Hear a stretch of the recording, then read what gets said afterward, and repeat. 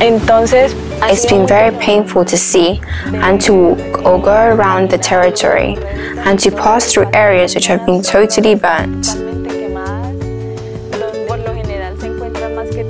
Usually, what you find, more than anything, are the turtle shells that are left in the middle of those forest fires. And you wonder how many other animals have been trapped there in the middle of the deforestation.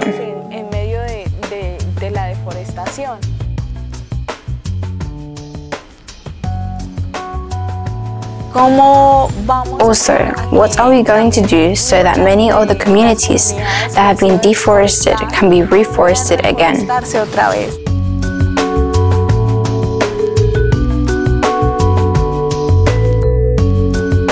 Entonces mi rol específico My specific role is to accompany and provide training to children and teenagers who are involved in a school for rights and responsibilities of children seeking peace, where through art they are taught about their duties, rights, and caring for our common home.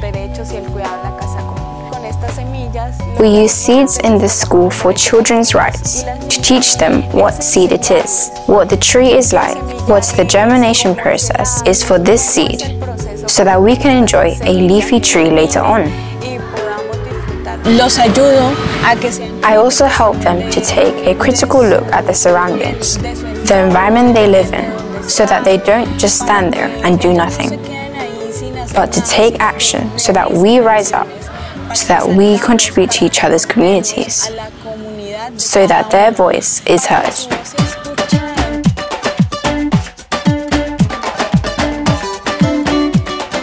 Porque nosotros en la naturaleza We cannot live without nature, and its resources are vital to our existence.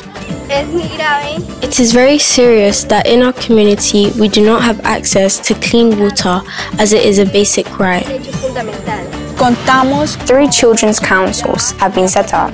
tres consejos infantiles, especialmente In this area, the voice of rural children is hardly listened to. There are violations of fundamental rights that are basic to our lives. generación de derechos. So, taking part in these types of meetings enables us to manage these problems and press for action to be taken about them. De poder gestionar incidir frente a esas problemáticas. Jenny me ha ayudado Jenny has helped me to take on more leadership, either in my community or in the council.